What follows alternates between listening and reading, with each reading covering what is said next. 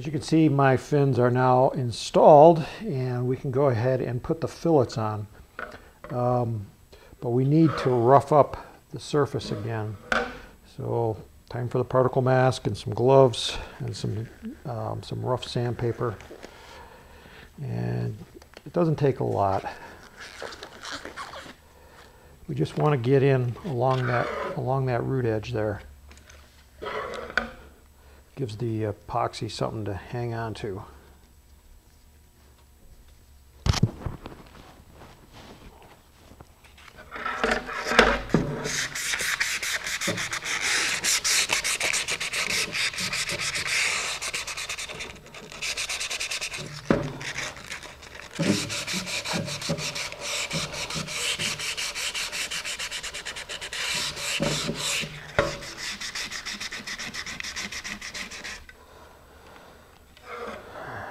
Okay.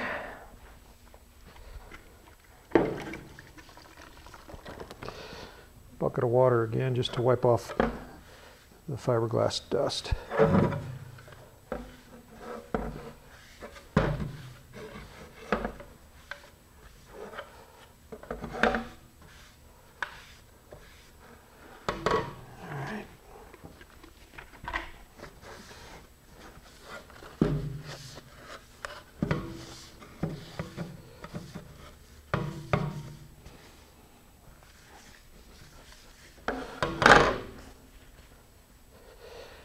Okay, next we're going to mix up some of the epoxy clay because I like using epoxy clay for fillets because I can do everything all at one time.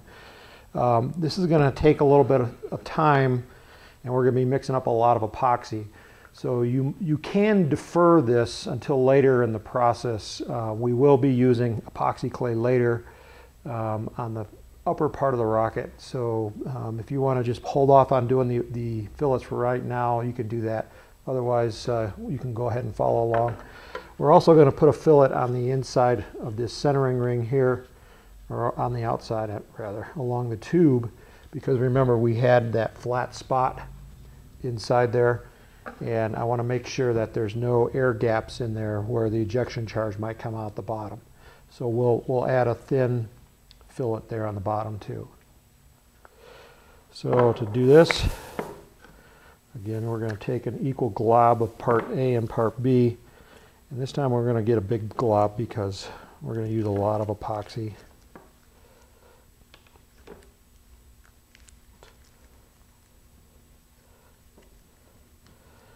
And I might need a little bit more than that, but we'll, we'll start with that and we'll just go ahead and knead it together for about three or four minutes.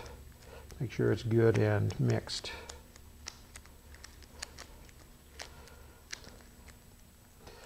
All right, I've got my epoxy clay mixed up and my gap is right in there.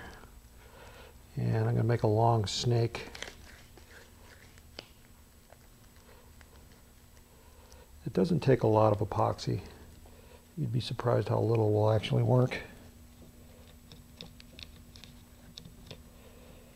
And at this point, just kind of press it into the into the into the corner.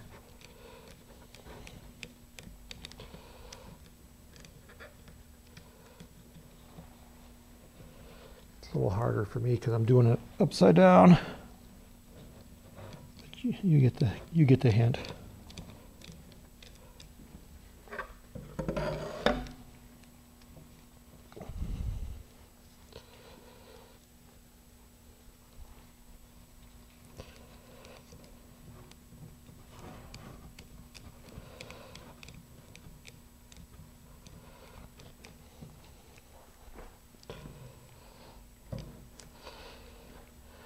And once I'm all the way around, now I can kind of smooth it, try to even it out so that it will look pretty.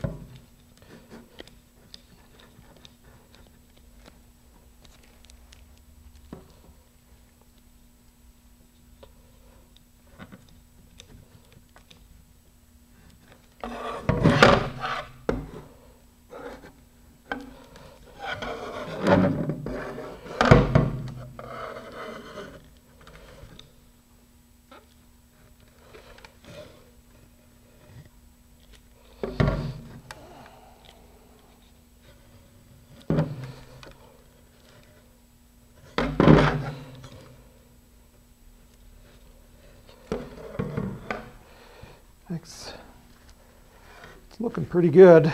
Um, and if you want to smooth it out, um, just get a little bit of water again. Just dip your finger in the water and apply a little bit of water to the surface and that will really make that nice and smooth.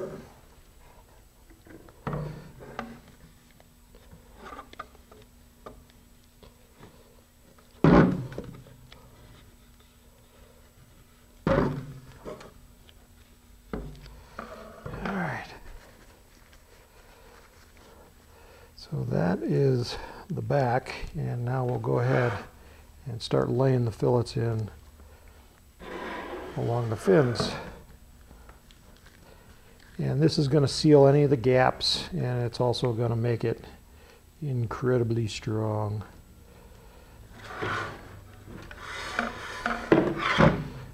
Again, I want to lay the snake in there, press it down.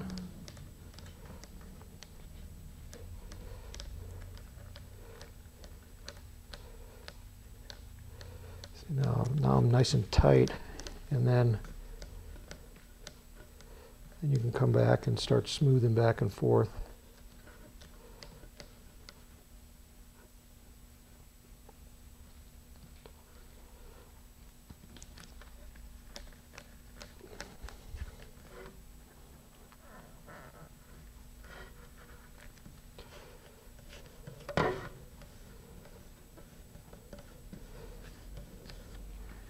And then finally just wet your finger again and smooth it out.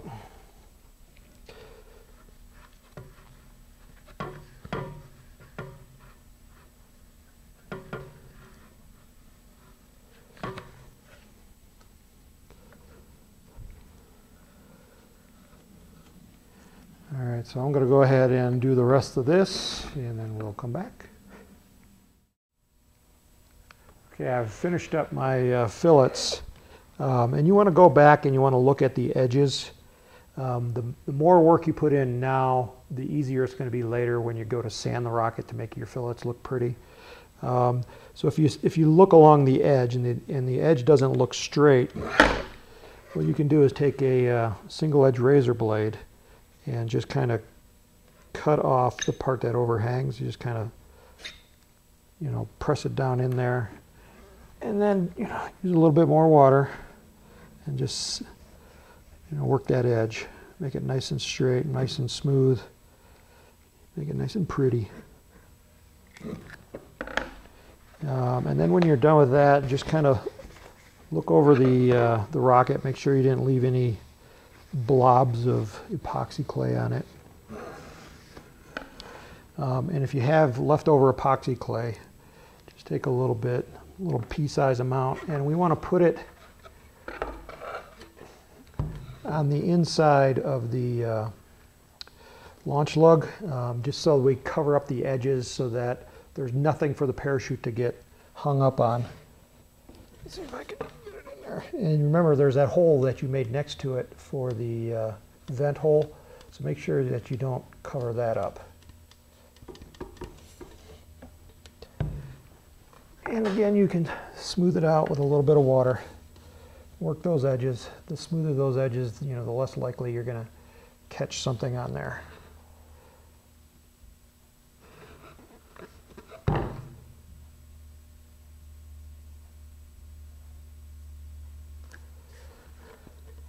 All right. That'd be good.